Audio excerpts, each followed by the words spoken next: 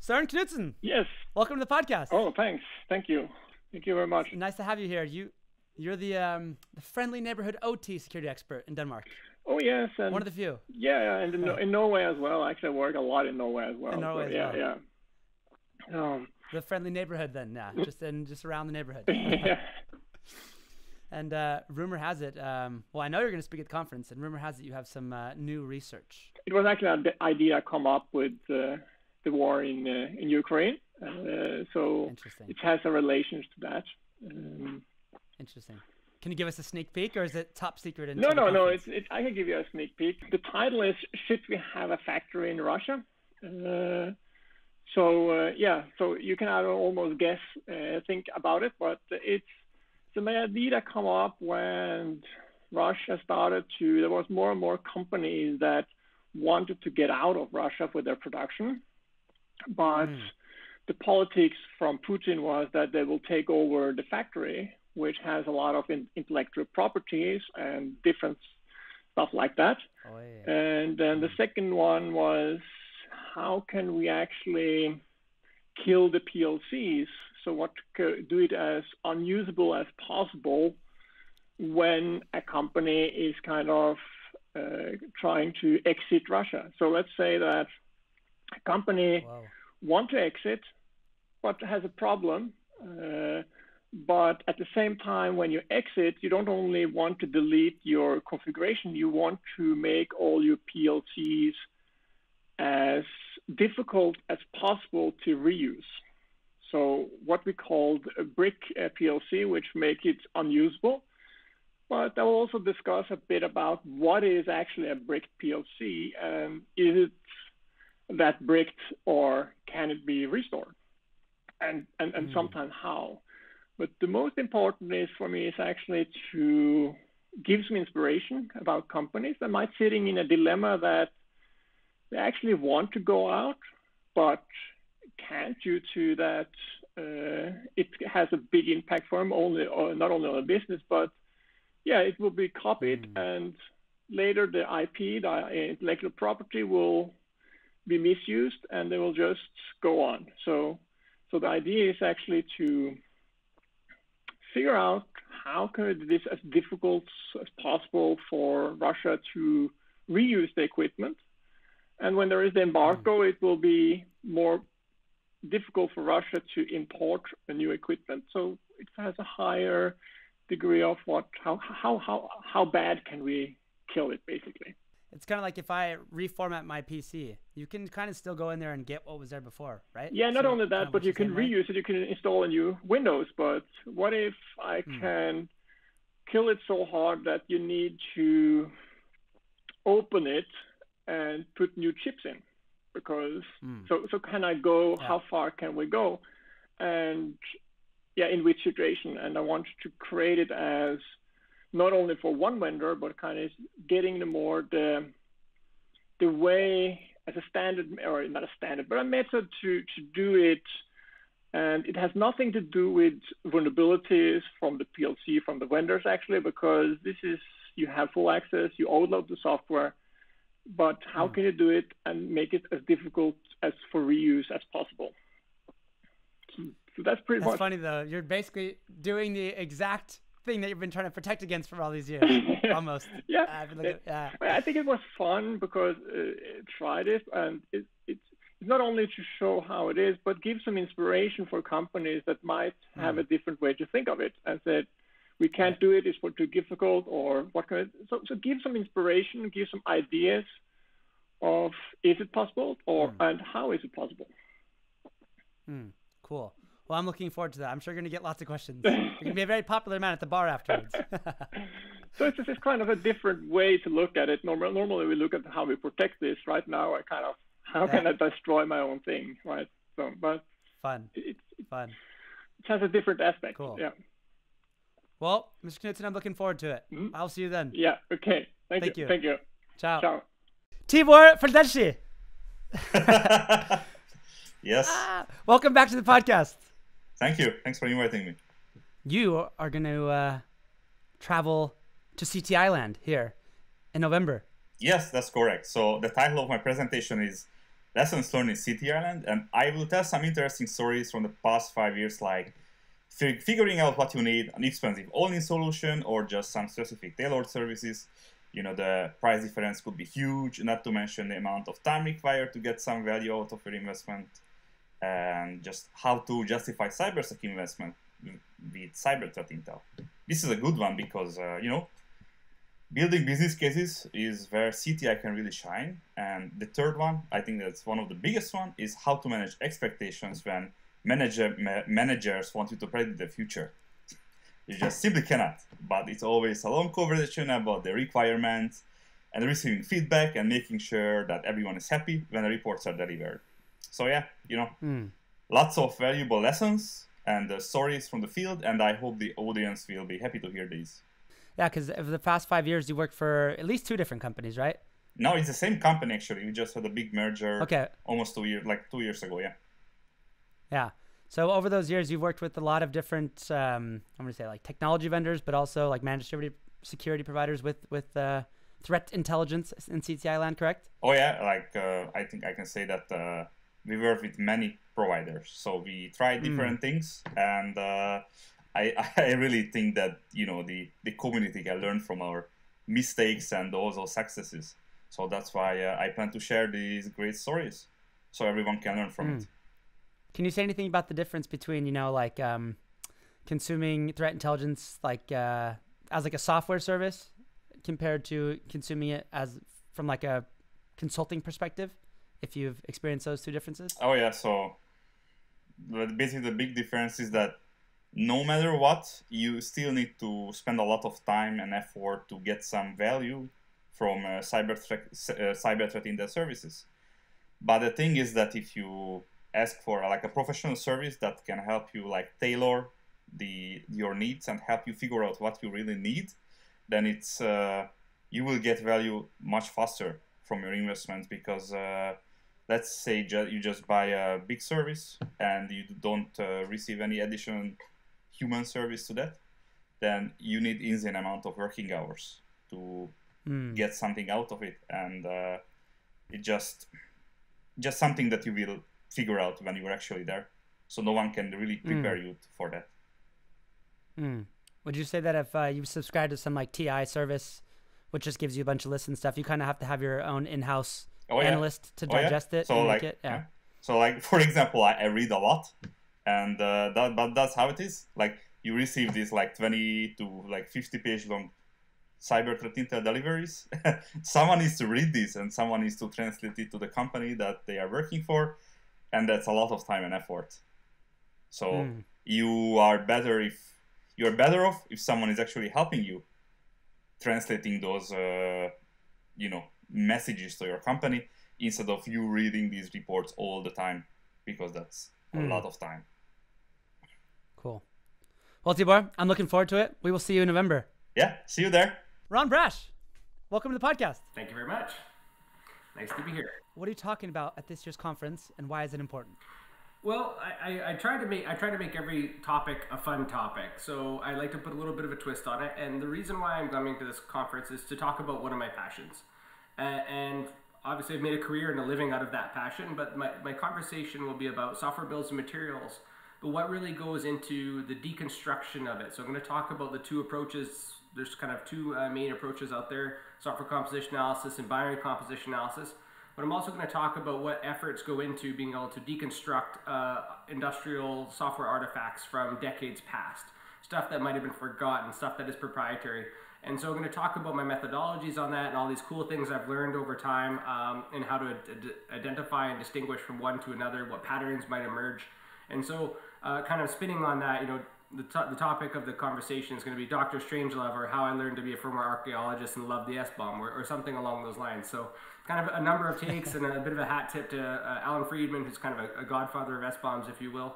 And I'm just going to keep it fun and, and trying to engage all the different types of audiences, whether it's technical to a layperson to someone who's just a risk advisor.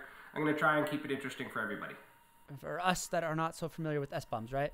You're supposed to have an SBOM, or it's nice to have an SBOM because then you know what's a part of whatever you're building. You have the you have the building blocks of what you've built, and if there's a vulnerability for one of them, then you can know that it's there. Correct? Uh, along, Is there anything I'm missing It's there? along those lines. Think of it like an ingredients list. Uh, some people might convolute the term SBOM. It's kind of like uh, a magic word these days in marketing.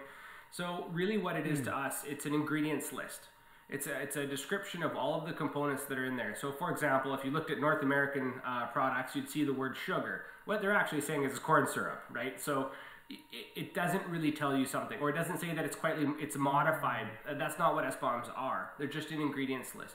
And so, depending on the, the environment or the audience that you happen to be in, whether you're an asset owner, a vendor, uh, a supplier to a vendor, or a security company in the middle that's kind of looking at this for different information, they all have very different, diff- different, distinct, and uh, sometimes overlapping purposes of how they might use that data. So, really, what I'm going to be talking about is not just having that ingredients list, but also how does one get there accurately? How does one get to the point, especially for binaries that have been, you know, from companies that have been sold, bought out, end of life, uh, the build chains are gone. How do you go backwards and build an SBOM for those?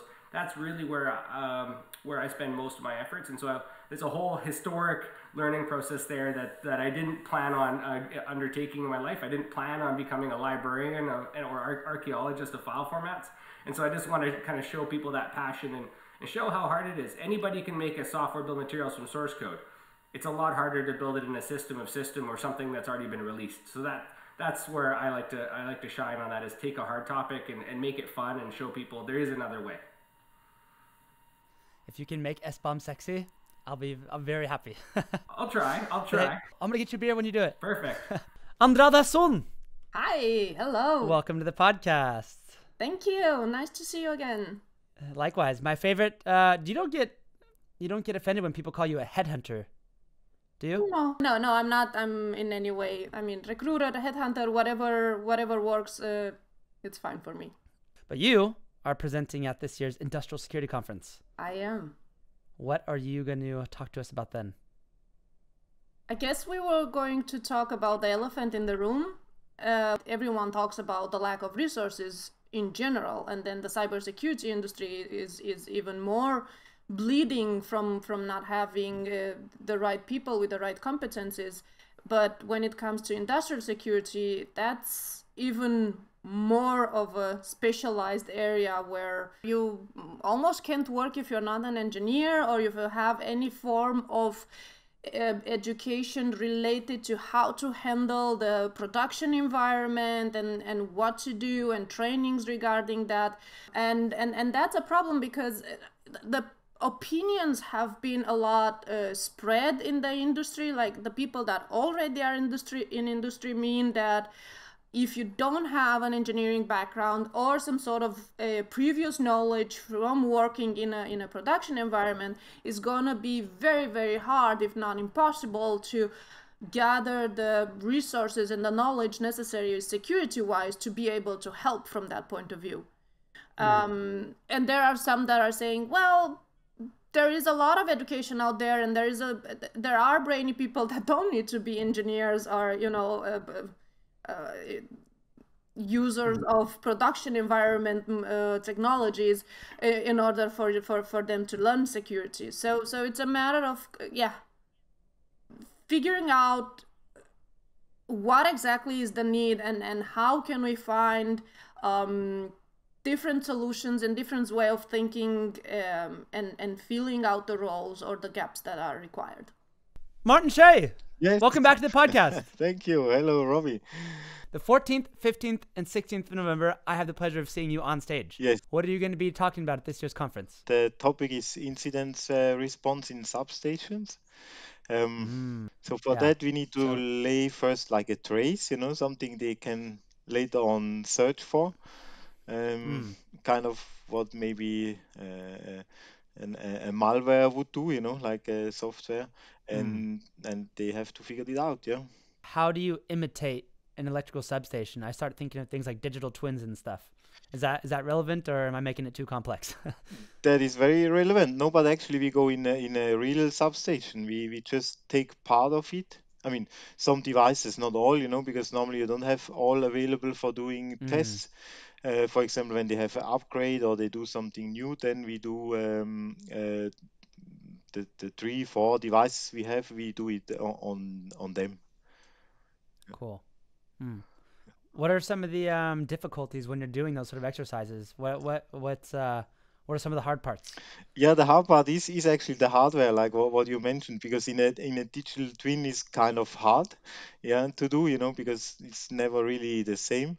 I mean, in the environments I I uh, I've been, and then the second difficulty is part to to do to not disturb the actual uh, uh, operation. Uh, you don't want to turn off the light of the village or the town uh, because you did the incident response exercise.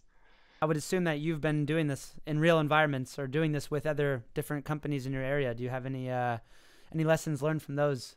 Preparation is, is very important you know that, eh, that everybody is aware what you're gonna do so once you're inside the substation everybody knows let's say the limit you know like which devices uh, they can check and which they are not allowed to touch so that is mm. key and out of it often comes you know you, you start to realize different let's say language you know like uh, the electrical engineers uh, talk a bit different different than the guys from the SOC uh, team. So that is all the mm. time very interesting when you kind of can align uh, afterwards. You know, when you uh, discuss lesson learned and all this right? That must be very healthy for the um, the ego of the security team because usually nobody understands us, but now it's us that doesn't understand. exactly. I think that's that, uh, that that's is exactly the point. that is very interesting to see. Then they realize, oh, and we also cannot work in the same way like you know we are used to work. We really have to be cautious with uh, what we touch. We we cannot just reboot any device we like, you know, or I, I mean in the mm. incident response you connect uh, take the logs out maybe or even there you have to be careful that you don't do something uh, wrong you know otherwise i mean on the wrong device uh, especially yeah right do you see companies having a 24/7 team dedicated to ot environments now or what do you think? Mm, no, not hundred percent. But maybe Switzerland is too small for it. You know, like uh, the mm. organizations we have here. They, uh, of course, they have a SOC for the whole company, but dedicated OT um, 24/7 available. I, I don't think so. So I guess that's part of your exercise then, right? That's kind of what you teach them to practice is how do you exactly. take an alarm coming from that system and make sure the right people get put onto it? Yes, exactly. Especially the cool. SOC people with not much OT background, you know, that they learn uh, at which point they have to call the the the OT security engineer, for example. Dr. Maureen McWhite, welcome to the podcast. Hello, hello, hello. Excited to be here. What do we get the pleasure of uh, hearing from you about at this year's conference? It's going to really uh, be around how to uh, detect timely the elimination of threats in our ICS environments. Mm, cool. Yeah. But uh, I also understood that you had like a, a twist towards uh, supply chain. Yeah, so my uh, so what I do in my business is I support uh, small and medium businesses um, in the supply chain sector. That's transportation. So I really specifically even narrowed it down and went toward transportation. So that's your maritime, trucking, air, and rail. So I will mm. be looking at it from that perspective: is how do we protect you know that, uh, that transportation layer within our industrial uh, control systems because that's very vital, very vital. Yeah. Is there any specific, uh, without giving away all your secret uh, sauce for your presentation, is there any anything like very specific about the transportation sector that makes it, uh, you know, more risky than others, or? For me, that tra- that makes it more attractive is what I like to say. Um, well, because everything that everything that we do day to day, a lot of it is transported through our, you know, be it rail, be it mm. maritime, mm. trucking. Trucking is big. And when I first started, it was really just the trucking. Everything moves by trucking, uh, so mm. much of our goods and services. So, um, you know, if someone, I mean, we saw it when the, what was that? And I can't remember all the details. I just, with the ship, and I can't remember the name of the ship that got uh, catty cornered there Ever, in the canal. Evergreen, Everglade, ever something. Yeah, mm-hmm. and, and do, do you see the impact that that made with us getting, you know, our basic needs as well some of the other things mm. that we mm. like, you know, electronics and you know whatever. So just an, in, you know, if you really want to cripple and stifle uh, a, a, a, community or a, a world or a nation, tap into that transportation where stuff is coming in, how you move their goods and services in and out. I guarantee they're going to buckle. Some, something's going to happen. Mm. So we mm. really do need to look at and pay attention. How do we protect it? And especially now that we're talking autonomous, uh, a lot of things are going to time. We have mm. autonomous trucking. Uh, we're talking autonomous uh, ships, and you know, so with all of that now coming into our um, environment, we really need to understand not only the impacts but how to protect our ourselves. Hmm. And I would also assume, not you know, assume very big assume in capital letters that uh, the transportation sector probably wasn't like the they're not known as the first movers, you know, the the, the highest willing to invest, I guess, but they still have a very exactly. important function. Hmm. Exactly. Yeah. Not the, not the first. Not always thought of. And uh, you know, a lot of people do. Uh, I remember when I was, you know, first working in this industry, and they're like trucking, cybersecurity why do trucks need cybersecurity? They just take stuff from one point, and I'm like, believe me, if I really kind of, if you just want to sit down and talk to me, and we can go through it, you, you will understand why it's important. And so now, uh, now that we've had more cyber attacks, you know, within our supply chain transportation industry, people are starting to now think, oh, okay, we need to do something. Um, mm. So it's slowly coming around, but we definitely need to understand what that is. Very interesting. Last question. So, are you taking, um, are you focusing on the supply chain to the transportation industry, or are you taking a standpoint in like the, the transportation industry as being a supply chain to some some other industry? If that made that, any sense at all. it did. I got what you were saying. I got it. Yeah, it was the supply chain, the transportation sector to the industry. So not separate, okay. but how you know how all of that encompasses because it really does work together. It really does it work does. together. Yeah. It does. Yeah, we, we definitely noticed that when that boat was um, stuck wherever it was stuck. Yeah, there, the coffee got more expensive. There was no things in the store. It was uh, yeah. Yeah, yeah, and even during COVID, I don't know how it was over there in Denmark, but you know, over here in the states, you know, you only could get like one thing of this or maybe two of those because things weren't moving as frequently mm. as they were. There there was no scheduled deliveries, and so I mean, again, transportation, our transportation sector supply chain plays a huge part in our daily lives. Yep. Well, I'm looking forward to it. Me too. We'll see you soon. Yes.